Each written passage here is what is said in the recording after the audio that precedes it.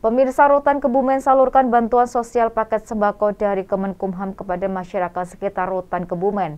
Bantuan tersebut merupakan hasil gotong royong dari para pegawai yang terkumpul disalurkan langsung dengan maksud meringankan beban masyarakat di tengah pandemi COVID-19.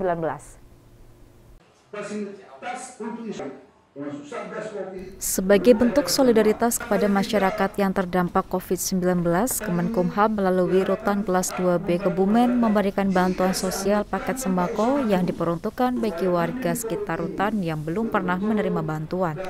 Sejumlah paket sembako yang disalurkan kepada masyarakat tersebut merupakan hasil gotong royong dari para pegawai yang terkumpul disalurkan langsung dengan maksud meringankan beban masyarakat di tengah pandemi COVID-19.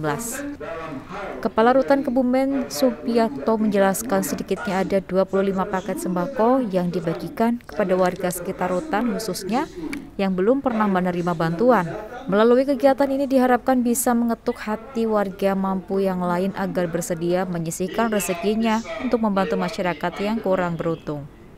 Sementara ini untuk mengantisipasi penularan COVID-19 di lingkungan rutan pihaknya telah melakukan vaksinasi kepada ratusan warga binaan. Tidak hanya itu, selama pandemi juga tidak mengizinkan menerima kunjungan tatap muka bagi keluarga warga binaan.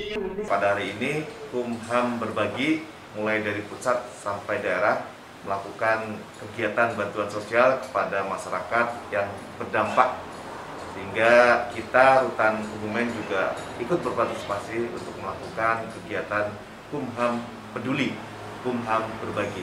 Demikian, sehingga kita menyediakan eh, 26 paket untuk eh, masyarakat. Dari Kebumen, Parianto Banyumas TV melaporkan.